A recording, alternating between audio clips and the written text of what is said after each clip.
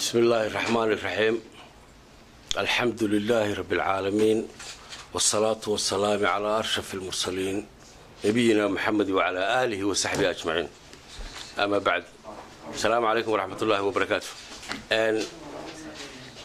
si aynu uga faa'iidaysano fursaddan waxaan guud ahaan ummadda muslimka ah meel kastay joogto gaar ahaan dadweynaha reer somalilan guda iyo dabadba meel kastay joogaan waxaan leeyahay ramadaan kariim ilaahayna waxaanu ka baryaynaa inuu ramadaanka ramadaankiisa wanaag inagu gaadhsiiyo ilaahayna naga dhigo. Intii ka faa'iidaysata barakada ku jirta bisha ramadaan ilaahayna haynaga yeelo. Intaa ka bacdi. Waxaan doonayay inaan erey keliya maanta halkan ka iftiimiyo oo ka soo aan jawaab uga dhigayo ereyo ka soo baxay mas'uul ka tirsan dowladda xamar oo ka hadlay boosta isagii oo markaa halkaa ku xusaayay in boosta soomaaliya hargeysa caasimadda somalilan ku leeyihiin dad wakiil uga ah oo magacii soomaaliya ku shaqaynaya. Inay halkan joogaan hargeysa somalilan caasimadeeda.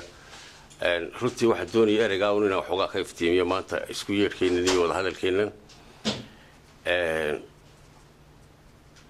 somalilan waxaan maanta ognahay in ay tahay xukuumad qaangaadhay hana qaaday dowlad hana qaaday iyadoo aanay jirin runtii waddan ama cid ixtiraaf dowlad ahaan ixtiraaftay aanay jirin haddana alxamdulilah ilaa xilligaa ilaa qaangaadhka ay maanta marayso waa mid ay iyada da shacabkeedu ay samaysteen ilaa iminkana si wanaagsan ugu socda xukuumadda anu aan ka tirsanahayn maanta oo hayo xilkaa aan ka hadlaya boosaha iyo isgaadhsiinta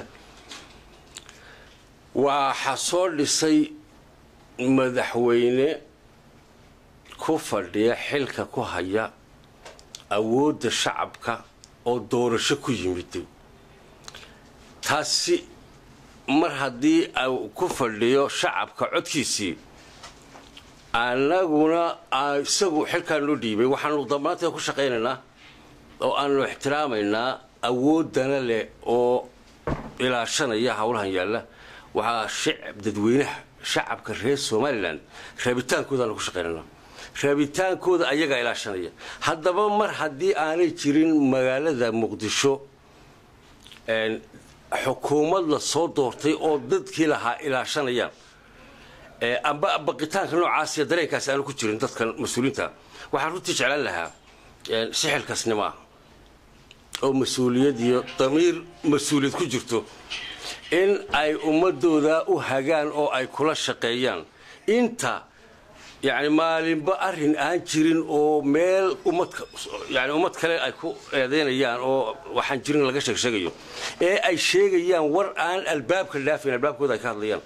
Runtii ma jecli dadka iyo ummadda reer soomaaliya inaan wax ka sheegno shacabkaasi dhibaatada haysato. Intii haddii hawla noologa baahdana intii noo suurtagala waxaan fudaydin karna inaan u fudaydinaa baanu doonaynaa haddii aanu helno mas'uuliyiin xilkasta oo aanu wada shaqayn karno oo hawlaha u fudaydin karno. Waxaase aada u iftiiminayaa warka noocaas ahaa in aanu halkan ka jirin hargeysa somalilan. Ma jiro boos soomaaliya leedahay. Cid wakiil uga ah oo halkan ka jirtay ma jiro. Wasaaradda boosta isgaarsiinta ee somalilan dadka muwaadiniinta ee reer somalilan ayaanay u ogolayn in ay iska furtaan xafiisyo ama shaqo noocaasa qabtaan ilaa sharciyadii wasaaradda iyo ee ku salaysnayd nidaamka dawliga ee xukuumadda dalkeenna ilaa la fuliyo halkan inay cidi ka furataa baanan u suuragalahayn. Bal iska daa waddan kale oo halkan intuu yimaado sharci iska samaysta howlaha noocaasa fushada boosiya ka shaqeeya adeer ma jirto ilaa maanta waxaan idiin cadaynayaa ma jirto. Waa wadan gooniya waan wada xidhiidhi karnaa wax waa la wada qabsan karaa wax waa na dhex mari karaan laakiin ma aha yani halkan bay wax ka jira oo waddankaasi oo boosia isgaadhsiina ilaa maanta ma jiro. Mid aanu ku heshiinay ma jiro mid ay iyagu isk iskaga leeyihiin ka dhaqan kari karayaan ma jiro waxaan ka codsan lahaa iyagana inay ilaa xad ilaa xad wax run u dhow ama macquul u dhow dee inay miidiyaha iyo saxaafadda markay wax loo sheegayo lagu faafiyo. Annagu aflagaada iyo waxooda inuu jiro iyo inaanu jirin iyo dowladnimadu wax nagu xaaraan afgelino. Waa dad soomaaliyeed ilaahay fudeed iyo dhibaatada haysata iyo mashaakilkan aan ka dulqaado. Annaguna waxay aan qabsanayno inay dee wax aan jirin lagu furaan kolba meel laga sheeg raalli kama runtii mana jirto aad iyo aad baan taa uga xumahay. Aan ku aragna miidiyaha saxaafadda runtii. Waa bir ramadaan inaan aflagaado kale iyo hadal fogfog iyo waxsiinaan runtii diyaaruma nihin. Hawshaas inaan jirin un baan runtii aad inagu caddaynaya wasiir adiyaan su'aal kaa weydiiyo arrintan la xidhiidha ninka sheegay arrintan waxa weeyaan wasiirka agaasimaha guud ee wasaaradda boosaas gaarsiinta dowladda muqdisho weeyaan hadalkan wuxuu ka sheegay warbaahin buu ka sheegay isagoo t v la hadlaya oo barnaamij ku jira ayuu ka sheegay waxa uu sheegay waxa weeyaan inay dad ka wakiilo oo mushaar iyaga kaga qaata ay hargeysa joogaan isagoo somaliland maamul ahaan maamulka maamulada kale soomaaliya ka jira kala mid dhigaya haddii ay arrintaas sida uu sheegi jirto idinka maxay ka qorshaysan shaqaalahaas uu sheegayo tallaabo ma ka qaadasaan haddii aad idinku ka wasaarad ahaan adeer inaan shaqaynaya institutionka ka muhiimsan. Sharciyad loo hayo oo aanu bixinay oo hay'ad ka tirsan waddan kale halkan inay ku shaqayso amba qof aata ama tobanaate ma jirto adeer mana ogolin. Markaa qof baa shaqo meel ka qabtay waxaa ka horeysa yani sharcigan nidaamkan guud ee la jebinayo ee aan dalkayga aanaan ogolayn ayaa meelka dhiciisa adeer. Wax ka qabadkiisii hor yaalla ee maaha qof iyo waxaas magaraysa mana jirta adeer. Waxaan kuu sheegayaa anigoo miidiya saxaafad baan idinka hadlaya maaha aqal hoostii waxaan ku hadlayo. Hadduu miidiya iyo telefishin warsiiyey waxaan hor fadhiyaa de waa idinkiiyo saxaafadii adeer ba miidiyaan ka sheegayahay. Amba gurigeyga kuma sheekaynaya dee. Markaa taasi waxaan is leeyahay dee bal halkay ka jirto waa la ogaan adeer wax jirana maaha bilxaqiiqa wax jirana maaha adeer wax jira maaha. Sacaadatu wasiir. Cami ku dhawaad hal sano shirkaagii jiraayada ugu horreeyay halkan ku qabatay waxaad sheegtay in si dhaqsaa loo hirgelin doono boos ay somalilan leedahay haddana waxaa laga hadlayaa in boosta dowladda soomaaliya laga hirgeliyey magaalada hargeysa halkay ku dambeysay ballanqaadkii waktigaas adeer maalintiin halkan ubaynu fadhin waa runta iminkana waa idinla fadhiyaa yaas haa waa la fulinaya adeer boostii somaliland waan dhaqaajinaynaa laakiin adeer marka aynu hawl intaa leeg fulinayno dabcan ee aynu doonayno inay dalkeenna ka hirgasho ee u baahan xidhiidhkii waddamada kale oo dhan.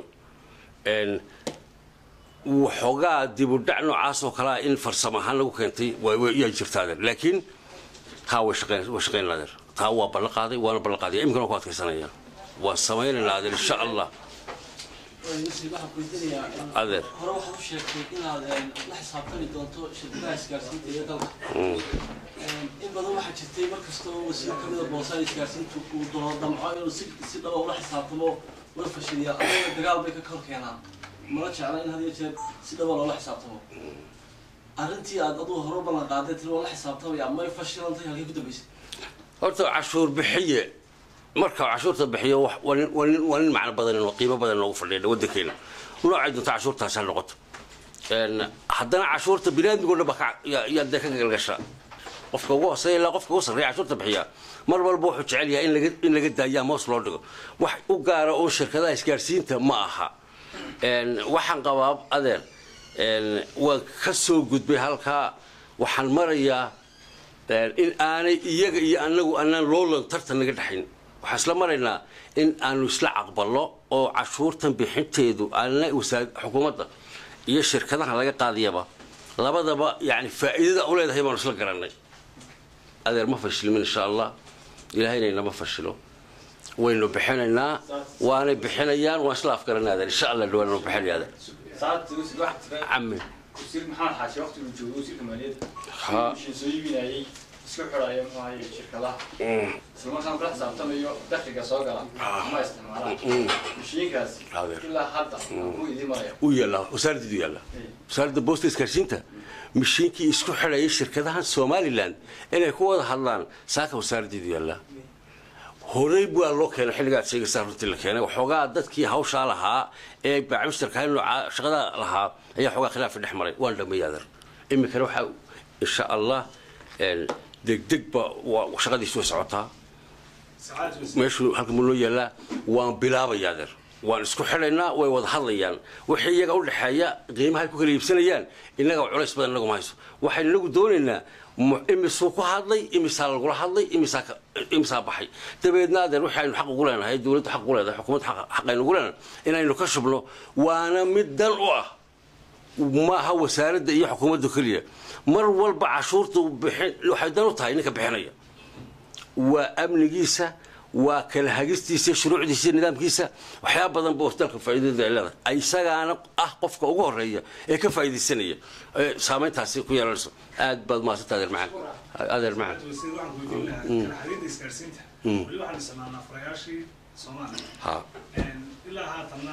adeer macaan wasiir waxaan ku weydiin lahaa kala xariirda isgaarsiinta weli waxaan isticmaalnaa furayaashii soomaaliya ha ilaa haatanna ma cadda meel aad ku kulanteen ama aad kaga wada hadasheen si loo kala saari lahaa waad la socotaa dhanka hawada oo kale diyaaradaha wasaaradda duulista hawada inay ka wada hadleen dowladda soomaaliya weli ma ka wada hadasheen ama wax cilaaqaad ma la yeelatay dhanka isgaarsiinta si loo kala qaadi lahaa runtii wax alla wixii arrimahii soomaaliya iskaga keeni jiray la kala qaadayo soomaaliya ma ogolin la kala qaado xaqiiqadu waa sidaa inana ma ogolin wax dambe oo iskaga ka sii jira marka inta aynaan iyaga isku mashquulin. Horta inaynu dariiq kale heli karna adeer oo aynu waxaynu gooni u samaysan karno ayaan aad iyo aad mashquul ugu nahay.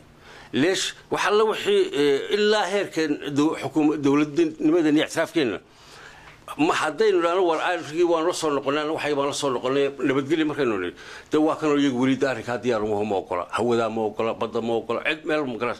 Laakiin innagu waxaynu isku kalsooni isku yani dhismahan xukuumaddan aanu dhisanay dowladnimadan aanu la soo noqonay baynu kalsooni ku shaqaynaynaa mar walba sidaynu waxaynu oo gooni oo madax bannaan aynu helilayn marka adeer khubro gaara yaan- yaanu arrinkaa u diranay dhaqaalo badan baa xukuumadda u hortay oo lagu bixiyey. Meel fiican bay noo maraysaa insha allahu fadhigan fadhigiisa innagii oo hawshaa aan dib uga wada hadli doonin baan insha allah rajeynaa iskula iman doonaa adeer aad iyo aad